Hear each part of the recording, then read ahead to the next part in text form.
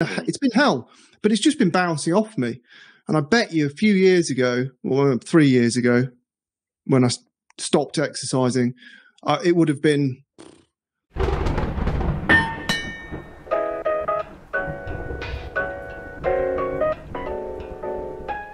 I finally got my first landing pages done, and uh, if everything works out fine, I will start this week um, testing my first Google Ads. I know this has been a topic in um, in the comments uh, lately. Uh, if people have experience doing that, I want to try to go into a niche where where people are looking for experts and um, um consultants because from my experience, this is where most of my and my, my best clients that I have right now came from when I just went on on as a freelancer on LinkedIn and then turned them from well why they thought they were only looking for a freelancer or uh, some guy who, who, consults them turned them into a real like agency client.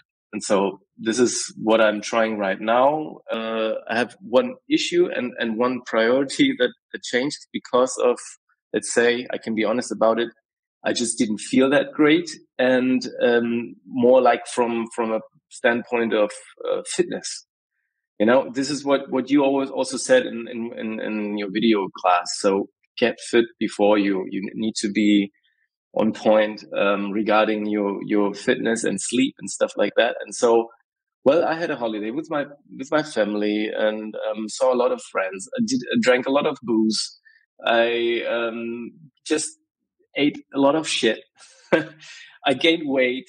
And so after the holidays where I thought now I should be sh- uh, I should be uh, like in the right mood to yeah get back to work. I felt like oh shit, I really I felt tired, and I felt like this is this I, I, I wasn't really happy about getting back in, into my office. And I said to my to my um, employees that just keep doing it. I just took the calls that I needed to take, and I felt like kind of like burned out. And and and then I realized that this might be because I'm not treating myself the right way.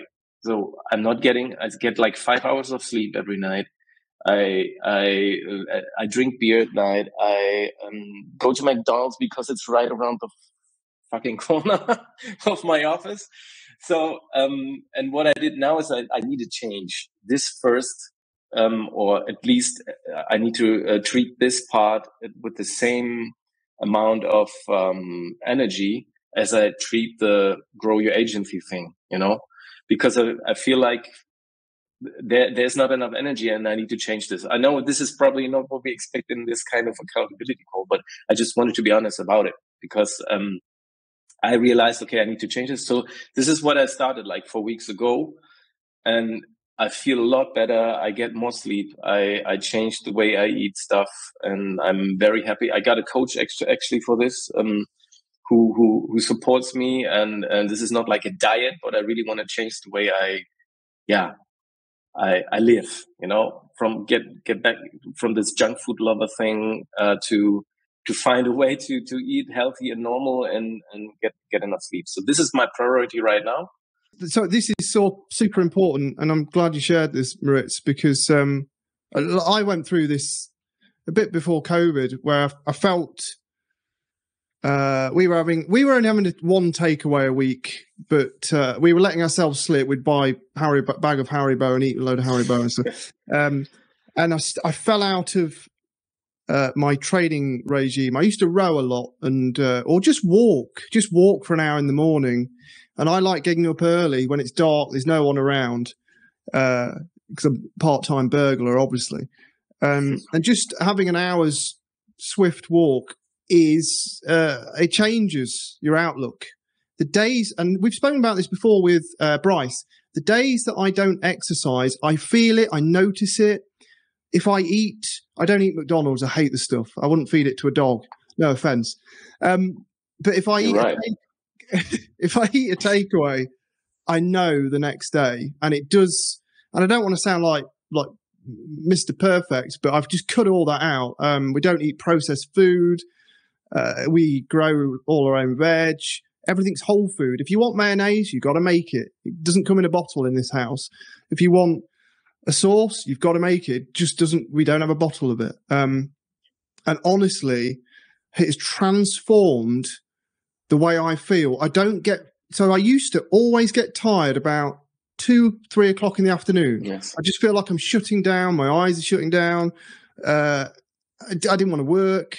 And some days I'd get up and just be like, oh, I can't be bothered.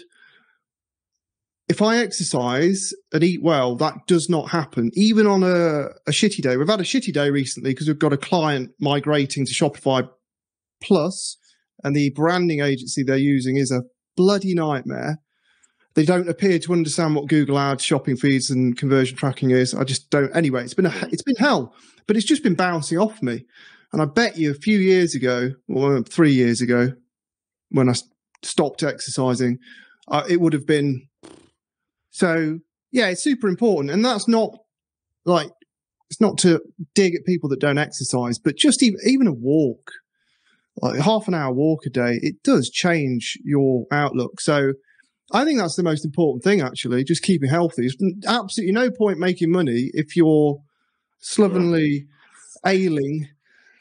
Not to say you were, but it's like just like getting sat on the sofa at the end of the night feeling like crap, chucking Netflix on. That's no life. And I know a lot, yeah. sadly, a lot of people live like that. So, yeah, super important.